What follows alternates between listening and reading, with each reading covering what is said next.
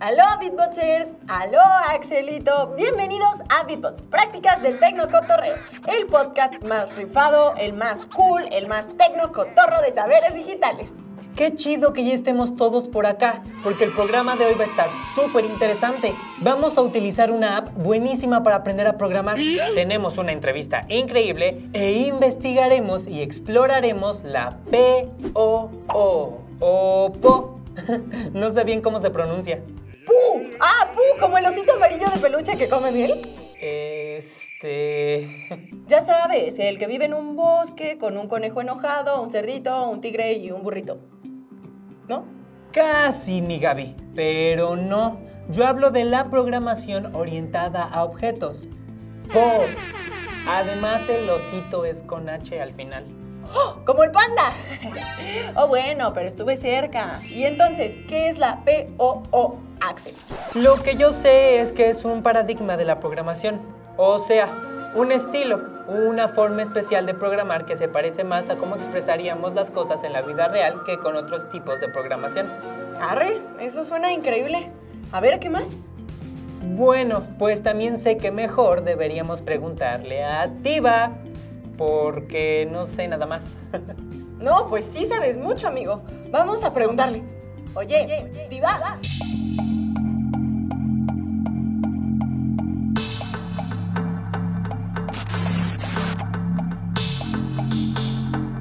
¿Qué pasó, chavos?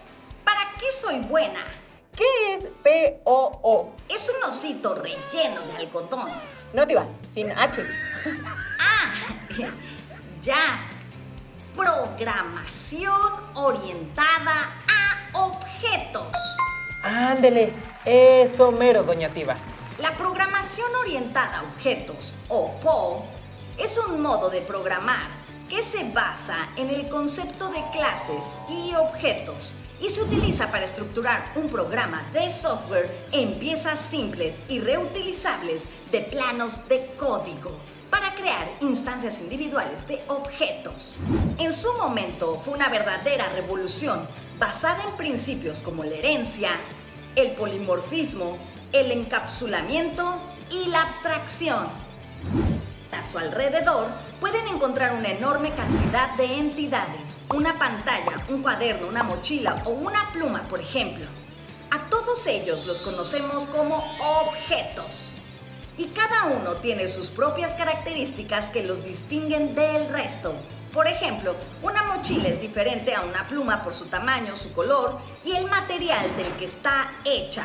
Ambos son objetos y ambos pueden realizar diferentes acciones. La mochila sirve para cargar cosas y la pluma para escribir en ella.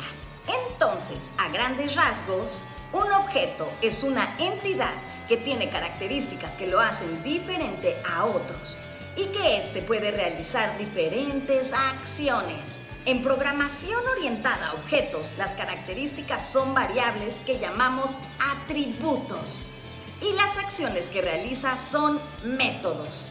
Y ok, esos son objetos. Pero, ¿qué es una clase? Si tomamos dos plumas, una negra y una de chispitas, es claro que, aunque son el mismo tipo de objeto, una pluma tiene atributos diferentes. El color, el tamaño, las chispitas, etc.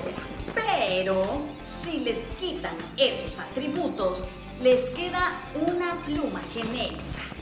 O sea, un molde que pueden usar para crear otro tipo de plumas.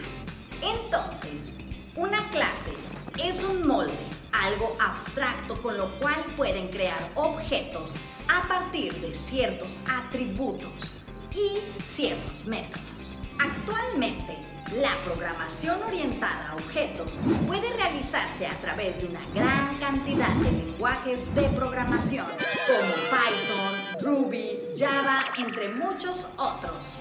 La PO es muy potente porque nos permite modelar de manera sencilla datos y comportamientos complejos del mundo real. Al poder manejar los datos y los comportamientos de cada objeto de manera independiente, nos evita tener que mantener datos globales y coordinar todo eso. Órale, ahora sí te entendí todo, ¿eh? Po, o pu, o, allá voy. Gracias, Tiva. Si me acuerdo de otra cosa que no sepa, te avisamos. De nada, muchachos. Ay, Axel, le quería preguntar más cosas a Tiva. Pues háblale otra vez. Ay, no, qué penita. Mejor ayúdame tú a buscar. ¿Penita? ¿Por qué? Tiva no es una persona real, Gaby. ¿A poco te chiveas con tu refri? A veces.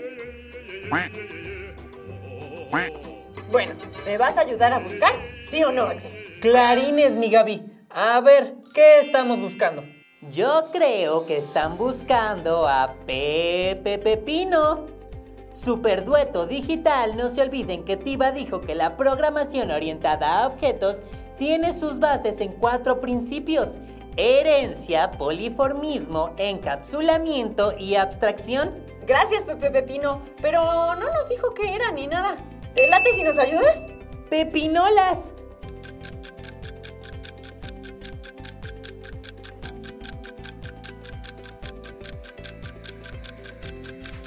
¿Ya encontraste algo?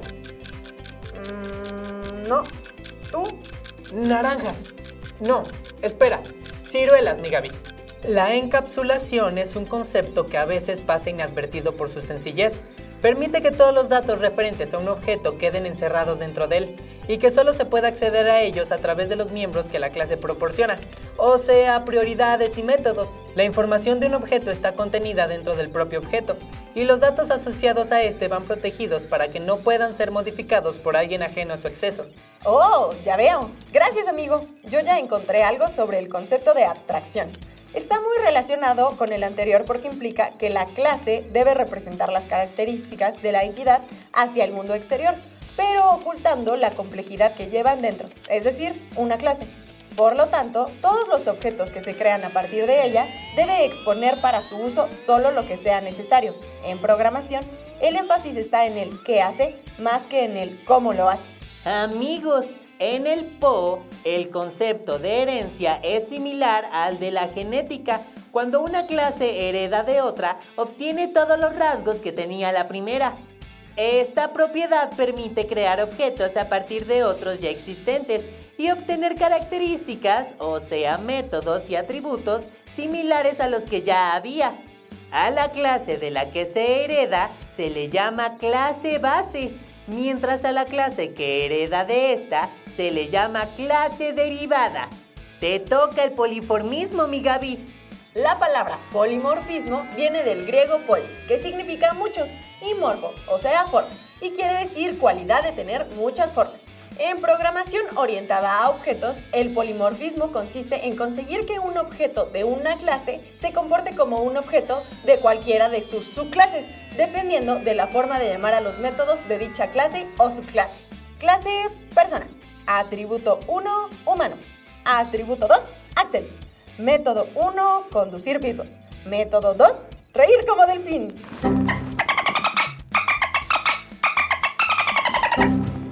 ¿Estás segura de que me estás programando bien? No sé, ya lo veremos ahora. Amigos, ¿qué les parece si vamos a la entrevista sobre programación orientada a objetos? 5, 4, 3, 2, ¡conectamos!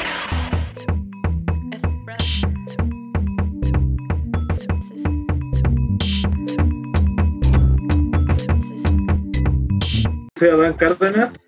Actualmente estoy laborando en Mave y estoy como puesto de jefe de TI en Ibris Commerce. Estudié yo ingeniería en sistemas. Y pues bueno, también tengo que ver algo de programación, algo de UI, algo de base de datos, redes, un poco de todo, ¿no? Entonces todo eso, lo que va relacionado a sistemas me gusta, ¿no?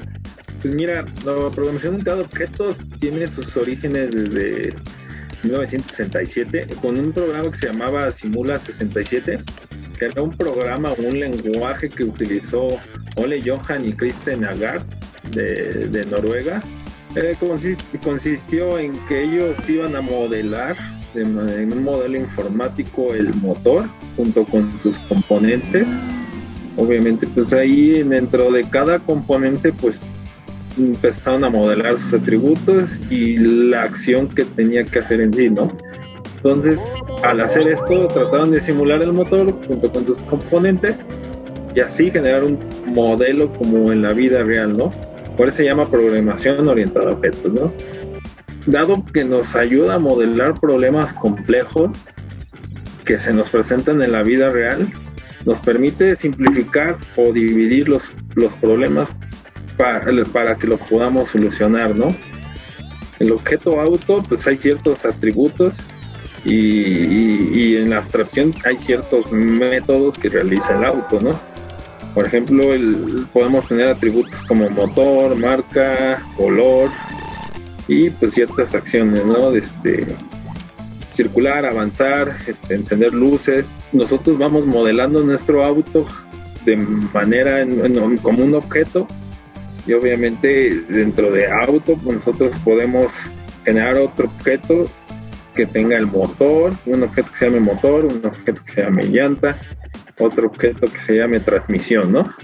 Entonces yo creo es importante que, que esto se aplique y, se use porque nos ayuda a tener un entendimiento de un sistema, ¿no?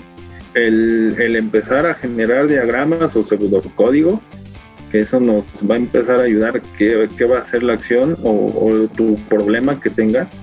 Y, y, lo segundo es ir entendiendo todo, los, todo lo que va a involucrar tu programa, ¿no? Al ir entendiéndolo es, es, importante porque vas empezando a generar un modelo de, diagramas de relaciones, ¿no? Entre diferentes objetos. Oye, Axel. Sí, dígame usted, doña Gavis. Changos, se me olvidó qué te iba a decir. ¿Me llamaron plebes? ¡Ah! Ah, no. No, no dije Tiba, dije te iba. Axel, creo que tienes un glitch. Es que Gaby dice que se puso a programarme orientado a objetos. Mira cómo me dejó. De hecho, ya que andas por acá, ¿nos puedes enseñar a usar alguna app o sitio que nos ayude a aprender a programar? A ver si logramos deshacer el chistecito de mi amiguita.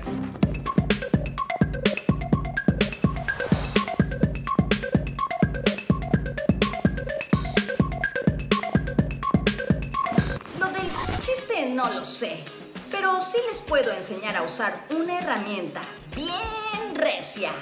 Si quieren practicar programación, esta herramienta les puede hacer el paro.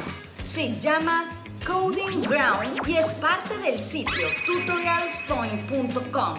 Es un sitio web dedicado a brindar educación en línea de calidad en los dominios de informática, tecnología de la información, lenguajes de programación y otras materias de ingeniería y administración. Este sitio web fue lanzado con un solo tutorial sobre HTML en el año 2006. Coding Ground es un entorno de codificación en línea muy poderoso. Proporciona casi todos los lenguajes de programación y tecnologías web para practicar online, absolutamente gratis. En un entorno en línea listo para usar, hay millones de profesionales de tecnologías de la información, profesores de escuelas, investigadores y estudiantes que utilizan Coding Ground para su práctica diaria de desarrollo de software, formación y requisitos de enseñanza. Para usar Coding Ground, lo primero que tienen que hacer es ir a la página de tutorialspoint.com si su navegador la abre en inglés, pueden traducirla a español usando el clic derecho de su mouse. Una vez ahí, van a encontrar un menú en la parte superior. Den clic en la opción Coding Ground, donde van a encontrar casi todos los lenguajes de programación populares para seleccionar. Den clic en su idioma favorito o con el que desean iniciar y comenzará su ID en línea, un ID, o sea, entorno de desarrollo integrado o entorno de desarrollo interactivo llamado Integrated Development Environment en inglés es una aplicación informática que proporciona servicios integrales que facilitan el desarrollo de software a los desarrolladores o programadores. Normalmente, un IDE consiste en un editor de código fuente, herramientas de construcción automáticas y un depurador. Si quieren empezar con el entorno de programación C, por ejemplo, hagan clic en el icono C y se mostrará la pantalla IDE adecuada. Pueden editar, compilar y ejecutar su código en Coding Ground usando el botón Ejecutar para compilar y ejecutar su programa con un solo clic. Verán la salida en la sección de resultados de la pantalla a la derecha. Pueden guardar su proyecto en el sitio y usarlo más adelante dando clic en Proyecto, Guardar Proyecto y se guardará en el sitio en una red segura. Cuando quieran usarlo nuevamente para realizar más modificaciones, mejoras o por cualquier motivo, pueden dar clic en Iniciar sesión, Mis proyectos, opción Abrir, para abrir un proyecto que previamente habían guardado en el sitio. También, si lo prefieren, pueden descargar su proyecto completo en su máquina local, incluyendo todos y cada uno de los archivos disponibles en su directorio raíz. Para hacer esto, den clic en Proyecto, Descargar Proyecto. Cuando quieran usarlo nuevamente para realizar más modificaciones, mejoras o por cualquier motivo, pueden dar clic en la opción Proyecto, Subir Proyecto para cargar el proyecto descargado previamente. Coding Ground también puede usarse para desarrollar aplicaciones móviles, porque proporciona todos los lenguajes populares como HTML5, Bootstrap, Query Mobile, etc., que se pueden utilizar para desarrollar aplicaciones móviles de forma sencilla, usando opciones para seleccionar la cantidad de dispositivos y para verificar la apariencia de su aplicación sin salir de la pantalla. Y una vez que su proyecto esté listo, pueden compartirlo. Para generar una URL pública para su código, den clic en Proyecto, Compartir proyecto. Pueden compartir su código en cualquier sitio de redes sociales utilizando las opciones de redes sociales proporcionadas y su código se enviará a su línea de tiempo en el sitio de redes sociales que seleccionen. También pueden usar la URL para compartir su proyecto directamente a través del correo electrónico. ¡Qué tutorial tan rifado! De veras que estoy considerando abandonar mi sueño de ser corista de Björk para convertirme en programador. Pero primero tengo que terminar la lista de películas que tengo en la fila de mi app para ver pelis en línea. Para eso no necesito programar. Mm, para verlas no, pero para crear una app como esa, clarines que sí. Discúlpeme que la correja, señorita, pero y no es que disfrute tener cómo se equivocan, pero lo único que necesitan para crear una app de esas es buen gusto y mucha clase. Ay, no. ¿Otra vez este señor? ¿Trole? Al menos en mi nombre no te equivocas. Nosotros no, pero usted sí. Fíjese que sí se necesita programar para poder crear una app para ver películas y también para escuchar música. Esas apps no aparecen así de la nada, solo porque la idea se les ocurrió a sus creadores. Au contraire, mi petit, solo hace falta un intelecto puro que pueda recordar y organizar las obras cinematográficas más exquisitas del séptimo arte, con su raciocinio imperturbable y sus dotes de curador y crítico. Por eso estoy considerando crear mi propia app de streaming pues va a ser un fracaso.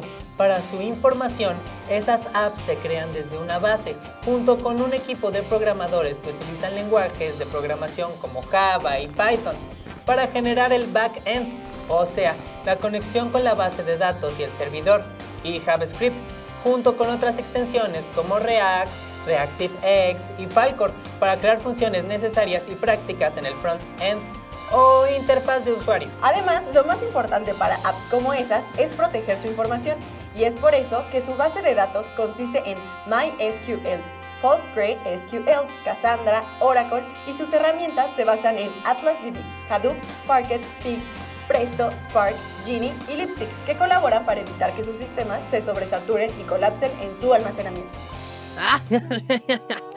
Lo más importante debe ser la calidad artística y sublime de los contenidos. Usted no sabe nada. Mejor vayas a inventar apps a otro lado. Es más, ¿quién lo dejó entrar al estudio? La gente inteligente es bienvenida en todas partes. Pero al parecer ustedes no saben apreciarme y su mala vibra me reseca la piel. Mejor ya me voy. Adiós, adiós. Ya vendrá la revancha, ya vendrá. ¡Qué tipo! Lo bueno es que siempre investigamos bien los temas del podcast. Ojalá nadie por ahí le crea a su choro. No sabe nada de programación. Bueno, bueno, bueno. Yo digo que no hay que dejar de ser amables y siempre tirar buena vibra.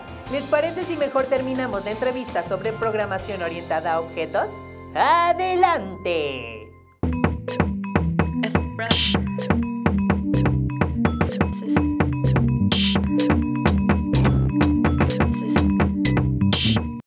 Las aplicaciones móviles obviamente tienen, están orientadas a objetos, ¿no?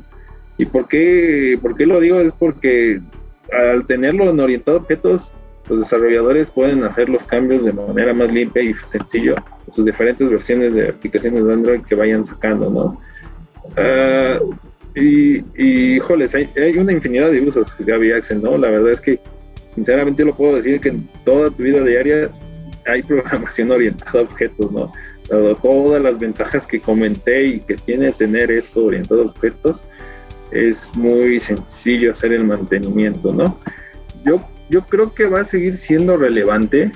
Prueba de esto es que desde los 70, 60, 90 ha seguido este, este paradigma, dado por todos los beneficios, que muy probablemente en el futuro se complemente mucho con, con los temas de inteligencia artificial, ¿no? Inteligencia artificial puede hacer uso de, de, del orientado a objetos, creo yo, ¿no? Entonces creo, puede que sí cambie un poco el paradigma, pero las bases siento que van a seguir siendo las mismas, ¿no? O por estas ventajas que, que, tenemos, ¿no? Creo que es una gran ventaja y ayuda mucho el aprender orientado a objetos, ¿no? Yo la verdad se lo recomiendo a los jóvenes y muchas aplicaciones están hechas orientadas a objetos, ¿no?